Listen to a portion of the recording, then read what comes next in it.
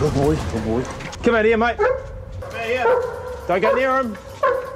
It's the early hours of the morning in Wellington, and Delta team Paul and Fallon have been called to help patrol police who have stopped three men suspected of breaking into cars. They're needing confirmation that they have the right wrongdoers. He's just walked right back down the side of the street. I'm just going to hold him here. Is he? Yeah. But the cordon's at the very top.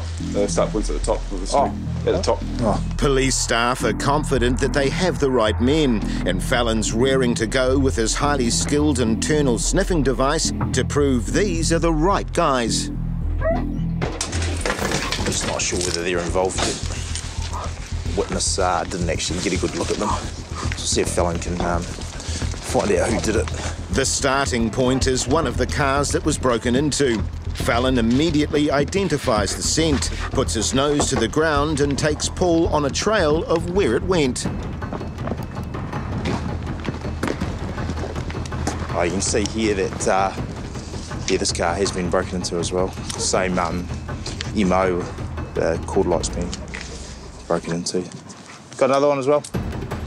Exactly the same, just in there.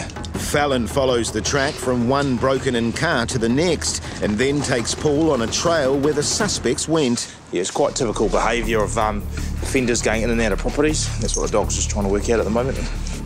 But they'll be going down here and um, stealing as they go.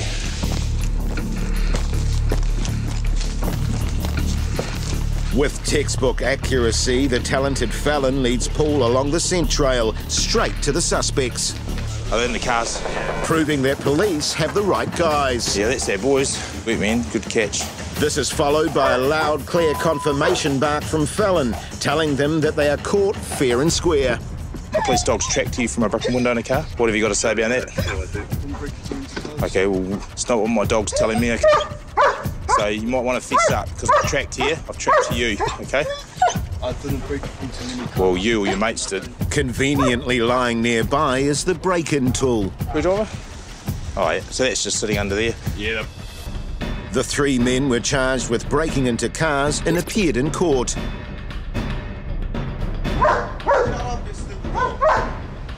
Who's the stupid one around here is debatable, and given his excellent tracking tonight, Fallon's sure it isn't him. That's a good boy, isn't it? He caught them. Delta Team Paul and Fallon's next job is being called through. So we've just got a guy that's apparently smashing his way into some flats. Just about to go 10-7 now. Hopefully we can find him. Once at the destination, Fallon's squealing to get out of the dog van. Nothing's better than a good job for this police dog.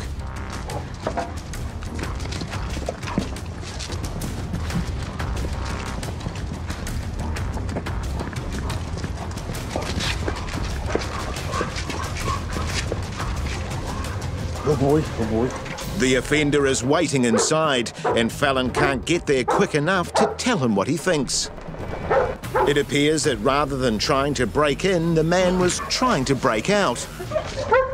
Come out here, mate. Wanting more action, Fallon is secretly hoping that the man will try running. Come out here. Don't get near him.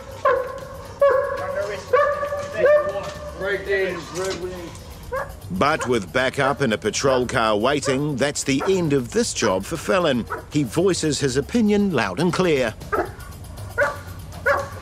Roger, yeah, he's damaged the door. I just got another 1k um, mail. Hey, pull up your pants. Low riding pants are great for buttock ventilation, but bad for running away from dogs. Maybe that's why he didn't bother. Don't like naughty boys, do you, Fallon? After being taken to the station, the man was charged with willful damage and received a suspended sentence, 100 hours community work, and made to pay $400 reparation. Hey, buddy. Hey, had plenty to say, didn't, didn't you?